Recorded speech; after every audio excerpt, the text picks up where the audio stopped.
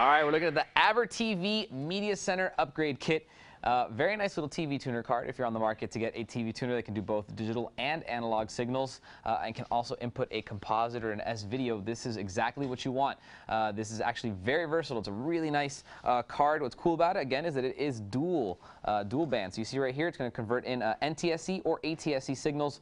no problem, which means you can do both analog and digital. It's also got right next to it over here this little S-video port, and that's basically going to get you to bring in maybe an old VCR. It also can convert to a composite, which is also very cool. It means you can uh, convert those old VCR tapes into DVDs or just you know store them digitally, save uh, save and protect all those old memories. It's kind of cool. Uh, it also uh, comes with a very nice little Media Center remote control. Of course, this is completely compatible uh, with Windows Media Center. If you want to run it with the Windows 7 or the Windows Vista versions of Media Center, it will work as well as with the older uh, Windows XP Media Center edition, which makes it very convenient. That means you can record, you can watch, you can pause, you can rewind, all sorts of TV, live TV and live video signals that come from other places as well, so like, such as a DVR or VCR.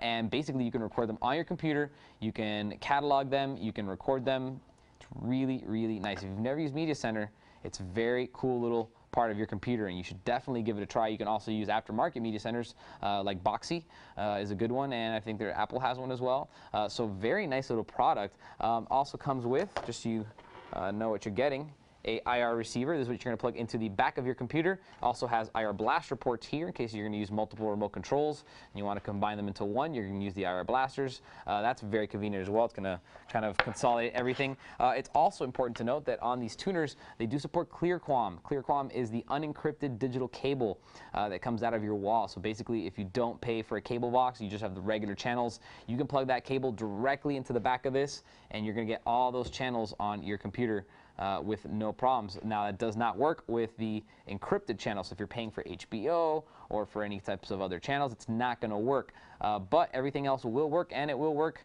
in high def as well, just so you know. This is, uh, if you do know the new digital standard, uh, where you plug in your antenna here, digital antenna, you know, they changed the whole changeover thing. It is HD, 1080i. It looks really, really nice. This will support 480p, 720p, or 1080i. So you are going to get a full high def uh, experience when you buy one of these. So very, uh, very nice. Now, I want you guys also to note, see this right here?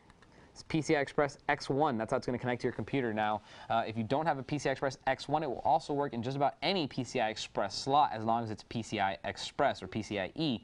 So basically, if you have a 16 X16 slot, it can fit just in that first part of it and it'll work, or it'll fit in an X8 slot, an X4 slot, or finally where it's meant to fit, which is the X1 slot. Uh, so most computers do have that, and it does work uh, no problem. So uh, very nice card if you're in the market for a uh, TV tuner. It's going to do both digital and analog and also have a composite in, so you can bring in some old uh, VCR or DVD footage that you want to put on the computer.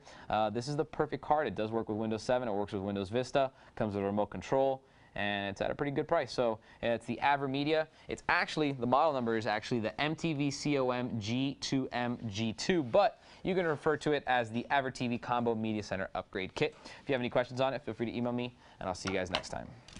If you want to get some more information on the AVerMedia AVerTV Combo Media Center Upgrade Kit, type in A46-2510 into any major search engine. For Computer TV, I'm Albert.